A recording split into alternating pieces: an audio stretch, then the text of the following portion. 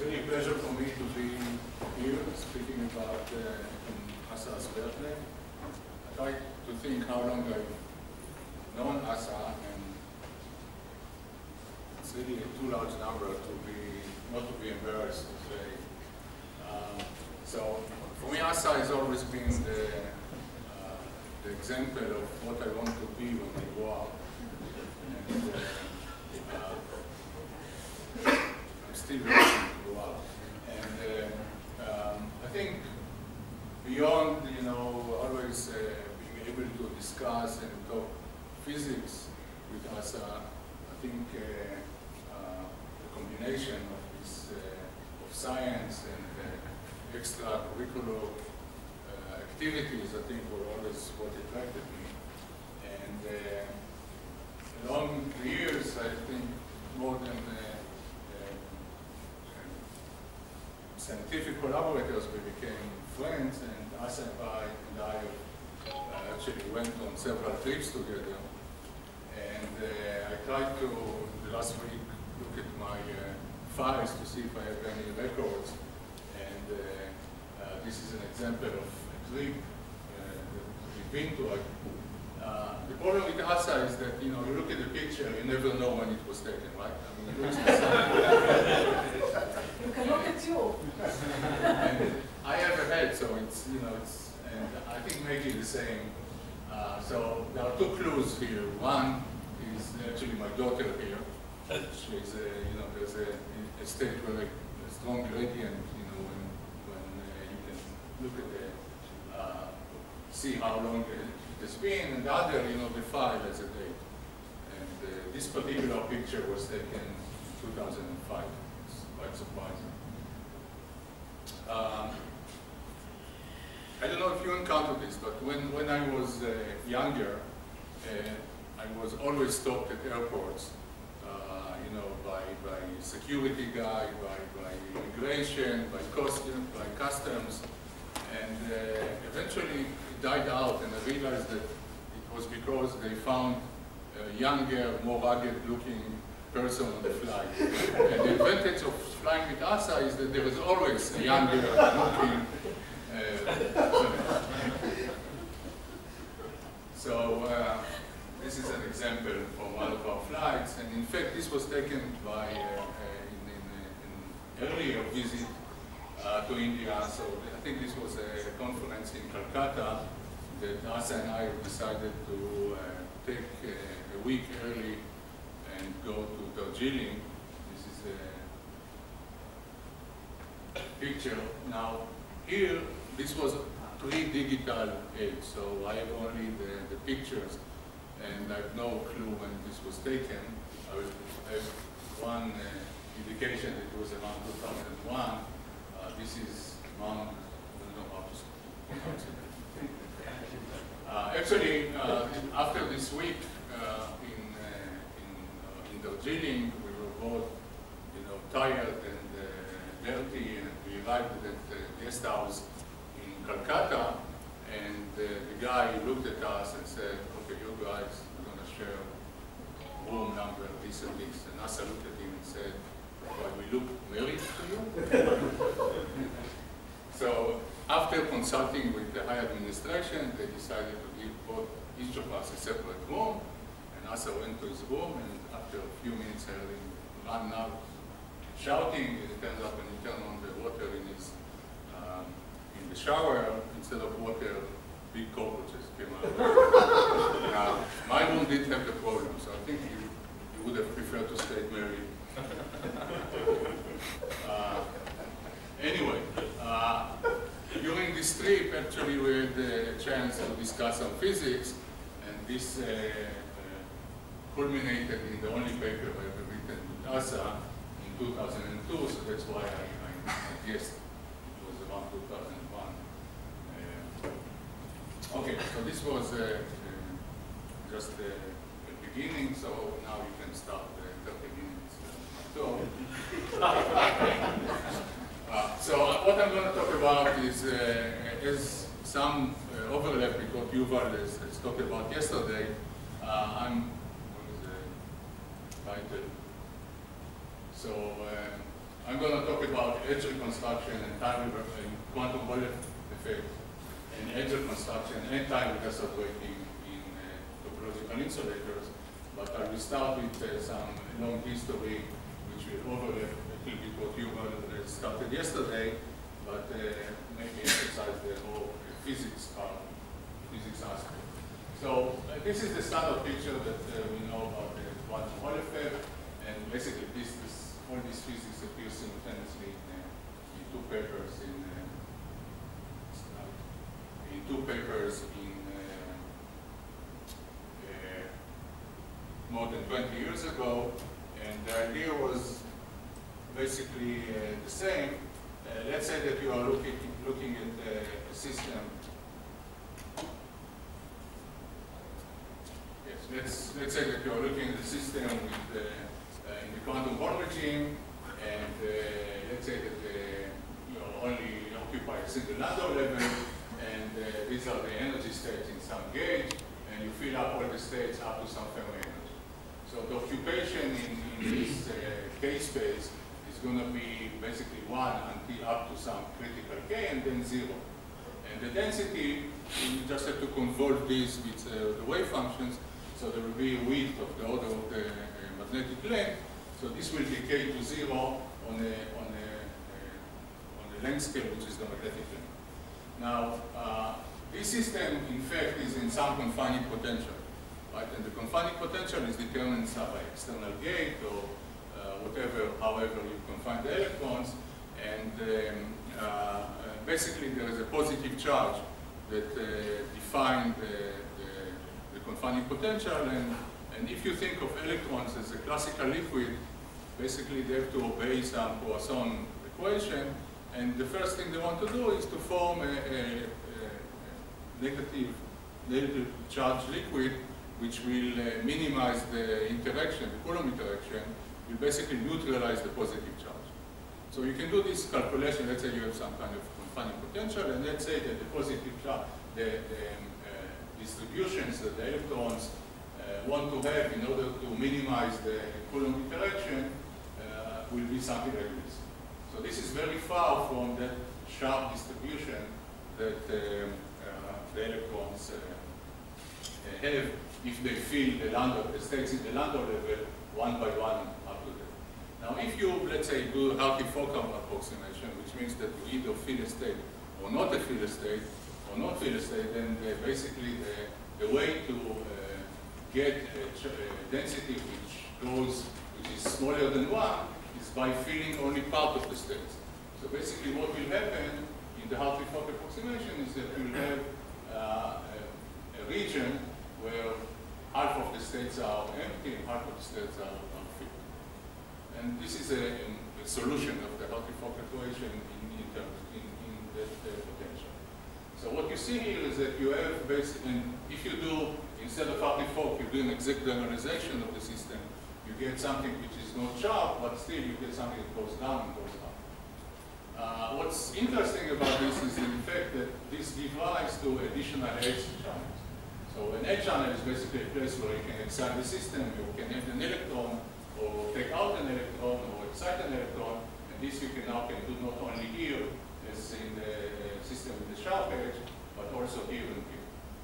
And the same physics, basically, I don't think you can see it on the screen, unfortunately, but uh, the same physics go for the two-third, uh, for the fraction quantum effect, and for the two-third two system, which is the one that I studied, uh, where the density is assumed to, so the, the standard picture of the two-third uh, ground state was that it, uh, it's a Laughlin wave function of one-third, embedded in the full Landau level.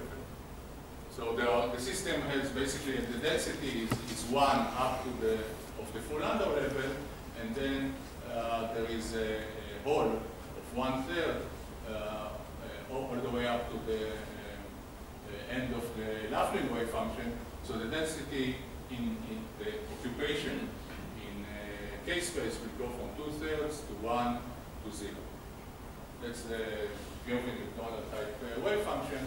Uh, but you see that even if you smear this out with uh, magnetic length, so the density basically goes from two-thirds to zero, it goes only on a, on a, scale of one magnetic length, in a smoother confining potential, you want a smoother uh, density drop, and what happens is that you nucleate a, a region of one-third states, roughly one, one-third set edge, and now the density drops more smoothly.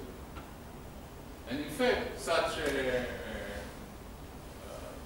such new strips have been observed. Uh, for example, this is an experiment from Amir group, where at the edge of neutral 1, you can see neutral 1 two-thirds, etc., etc. Uh, so this, this has been uh, like 20 years ago, more than 20 years ago. Why did we uh, return to it now? And uh, uh, I think you have mentioned a few of uh, Moti Maslow new data, but there is one, let me mention the three questions, the three uh, reasons we looked at it. one of them is this, the fact that if you have a point contact, you pinch off the point contact, there is a plateau, which has already been seen a long time ago at one third. And this was as well repeated in Moti's uh, lab. The other is the fact that if you look at the effective charge, used by shot noise, uh, then uh, conclusion is that effective charge depends on temperature and grows from one-third at high temperature to two-thirds at low temperature. And the third is the fact that we see uh, upstream neutral noise. And it means that we inject current here, the charge goes to this uh, uh, ground. But in fact, you see additional noise in the point contact, which uh, the attributed to uh, heat or neutral mode that goes in this direction.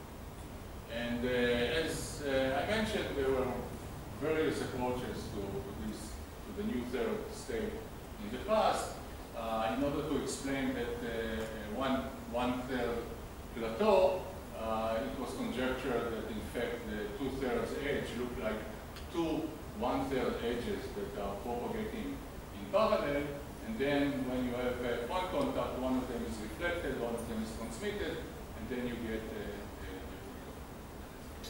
a, uh, I mentioned that the picture of Girvin and MacDonald that basically uh, claimed that uh, uh the two-thirds ground state is uh, uh, one-third Laughlin state of holes in the full Landau level, and that leads to these counter-propagating edge states. And as you were mentioned yesterday, this leads to conductance, the two terminal conductance of four, of four thirds that uh, uh, has not been observed experimentally. And then uh, this paper, famous paper by Kane Fisher and Polchinski, resulted by saying that by some kind of RG flow, you get a two-third, they combine to a charged state of two-thirds and an upstream neutral to uh, neutral upstream neutral it, of course, explains the existence of neutral mode. Now, can you see if you do you make a point contact here, you will not get a, a plateau, and it doesn't also doesn't uh, explain this also the uh, uh, effective charge. Uh, there are some subtleties that uh, I will skip because I think the problem is fine. Uh, so what we've done is basically took the more um, the picture that was presented in this one paper where we have four modes. And what you see, uh, this is answering uh, Steve's question from yesterday. Uh, in order to have a smooth density in the real space, these three inner modes have to be very close to each other. I mean, this to have a sharp uh, density profile in the real space is costly in energy. So these guys, these three guys are basically stuck together. However, the outer mode,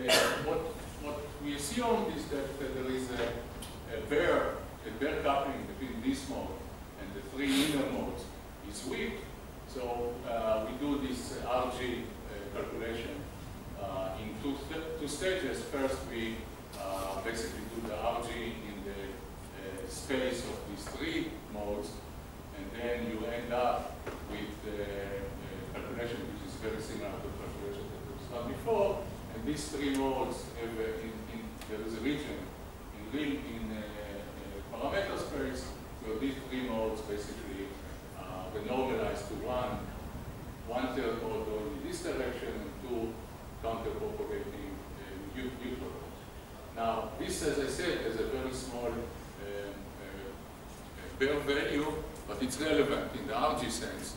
So at low enough temperatures, uh, what will happen is that this will be normalized and you get a standard uh, KFP uh. So you see that uh, the, this picture does explain the, uh, the plateau because now you can have uh, this, all, all this group of modes can be reflected uh, at the point contact. It explains the crossover, it explains the neutral mode, so it looks very nice. And in fact, Moti has done uh, additional experiments recently, uh, which, as far, as far, as I know, are still unpublished. So one experiment is uh, basically he looked at two-point contacts in series, uh, both in the two-third regime, and what do we expect? So uh, he has control over the transmission here and the transmission here. So we expect that as long as the transmission here is larger than one half, there will be a mode that is coming out of here and propagating here. And this mode will, when this transmission is larger than one half, this mode will give you a conductance of one half.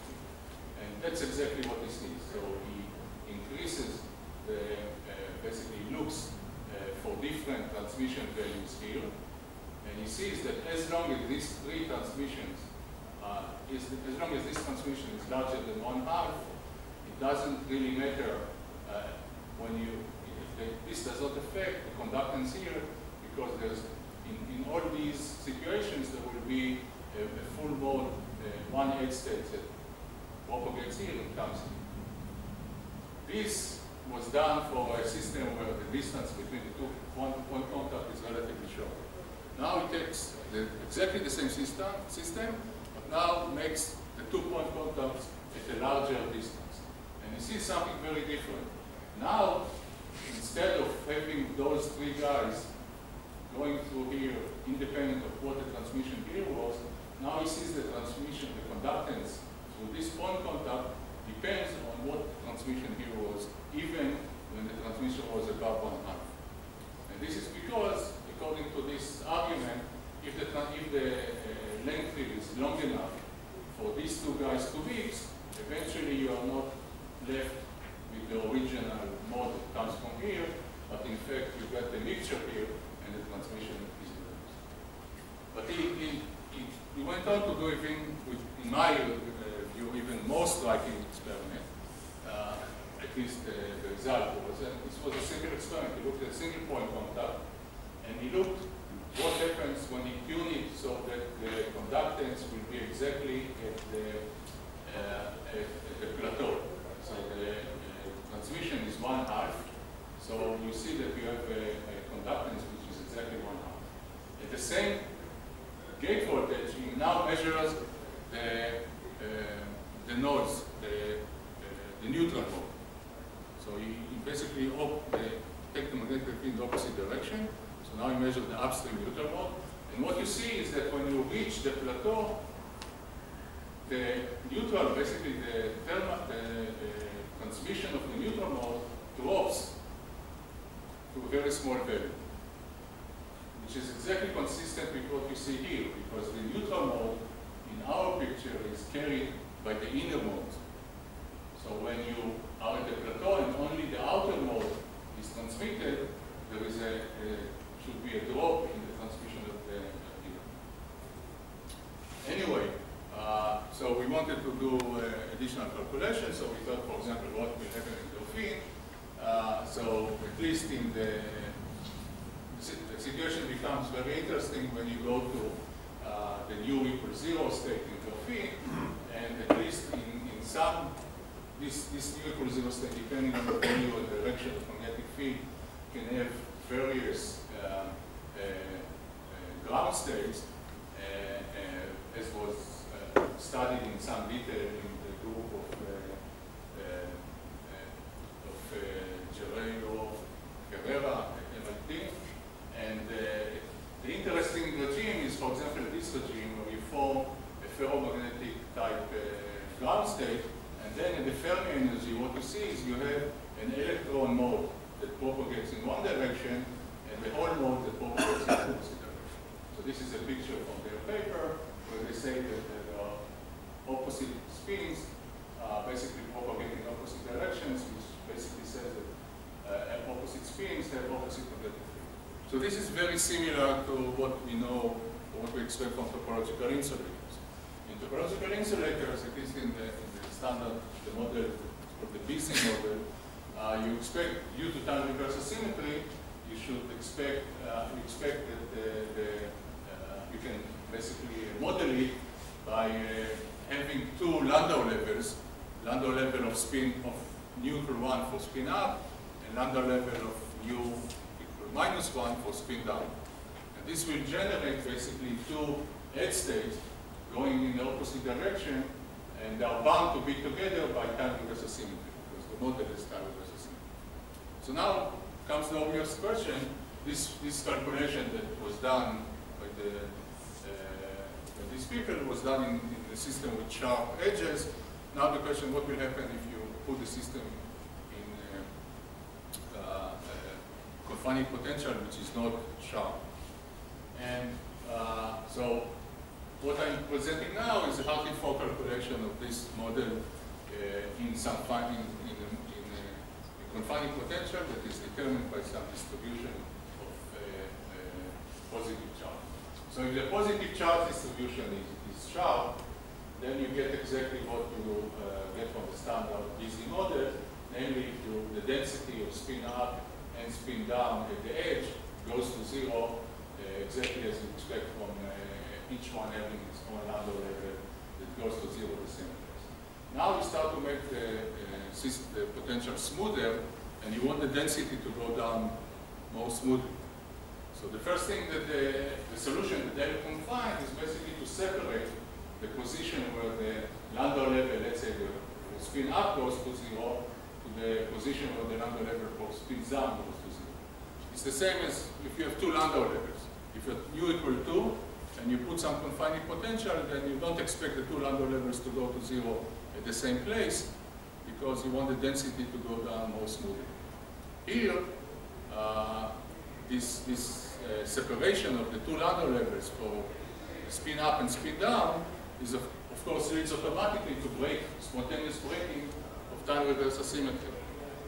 Because the, now, if you uh, map spin up to spin down, you don't get the same state. And if you continue with uh, even smoother potential, you get this reconstruction separately for each Landau. Uh, so this is a relatively simple calculation. You can do uh, so this, is, as I said, is Hartree-Fock. You can do exact diagonalization, and you get results which are very similar. You get spontaneous time reversal symmetry breaking, and you can follow how much, uh,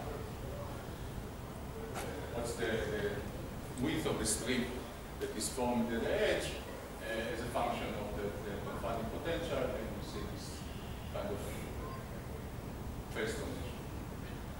Okay, so let me uh,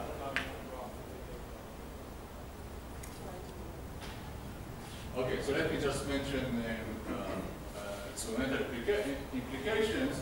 So as I said, time asymmetry is spontaneously broken, which allow uh, backscattering at the edge, which will say that the resistance should be higher than 2 square over h, which is what actually has been seen experimentally for some of the uh, systems. Uh, one prediction is that you should get additional plateau if you, if you have a point contact. And then when you point to the point contact, you should get a plateau at one e square over h. Otherwise, if you have time, no time reversal symmetry breaking, there should be no such plateau. Uh, this also means that you'll have a, a conductance at zero magnetic field. Because you see one of the uh, states is reflected and one of them is transmitted uh, you generate spin current because one of the spin directions is reflected, of them is, uh, is uh, reflected. I will skip this because I'm out of time. Let me just mention that uh, there is a more elaborate model to explain, to describe um, uh, uh, topological insulators, and that's the BHZ model, and uh, one can do the same calculation within the BHZ model together. And again, what we see there is that when you have a sharp edge, uh, this is the spectrum and this is the chemical potential. The chemical potential crosses the spectrum at two points, which are the edge states, and now you make the potential smoother, what you see is that uh, uh, spectrum bends so that uh, it crosses the uh, chemical potential in two additional points, and this leads to two additional edge states, but these two additional edge states are the same speed. So now you have, uh, again, spontaneous symmetry breaking in this one.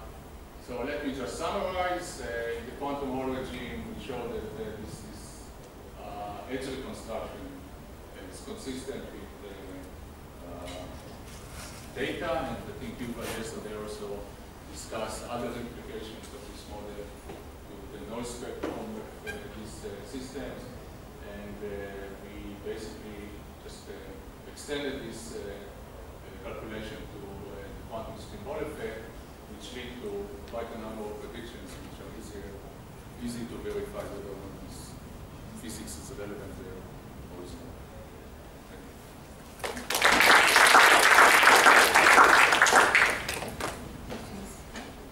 The last part is that the RT form was confirmed by ED, exact time condition, but I don't see how you can rectangular symmetry in the finite system. Why not? I mean, you, you make a, cal- you, you basically, uh, You focus on correlation, or you allow, you, I mean, when you explore the, the possible states, you allow states for finite quantization. And you find in the exact that those have lower energy than the, the states with zero normalization. So I didn't quite understand, in the discussion of the quantum spin Hall effect, what material are you looking at, or what, what, what? I'm looking at a model. It's just a model, Yeah. what's the model? So, so there are two models we've been looking at. One of them is what the BZ model is basically saying that you have two uh, um, Landau levels with opposite um, magnetic field for the opposite spins. And the BZ model is more elaborate model, which based on that theory and effective, some effective model. Um, I can show you in detail. And in your Berkeley Fox solutions, did you allow for spin texture, did you allow for breaking of the spin No. rotation symmetry?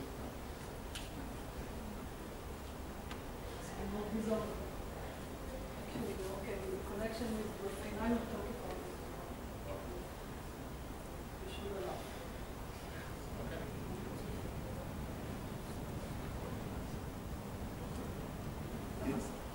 In the edge reconstruction, the Hartree-Fock allows for Wigner crystallization on the edge, or is it not? No. I mean, it's basically just saying, you, you take the Landau level states as given, what is the combination of occupation that we minimize it? I mean, you've assumed that it's translationally invariant in the, in the, uh, along the edge, but there could be spontaneous, I mean, you would expect at, at some level that there would be, uh, you could call it crystallization, or that it's going to break the symmetry uh, uh, in the, uh, there'll be some kind of perhaps periodic or maybe something quite uh, aperiodic, because you're going to mix together, you have, you're, you're having various, uh, a, a series of, of counter-propagating edge modes, and that typically is unstable. You Form, uh, bubbles, good electrons can tunnel back between them, and that favors instability, and typically you you wind up with what you expect is, should I say, n plus one left movers and n right movers. Uh, You'll freeze out all, at least in Hartree, if you do an extended Hartree Fock, which you allow broken symmetry, you wind up with one mode that propagates and the others uh, more become insulated.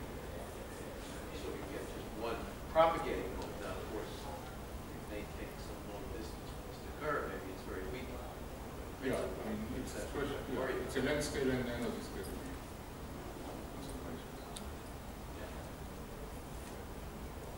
So this, since we really run late, let's thank uh,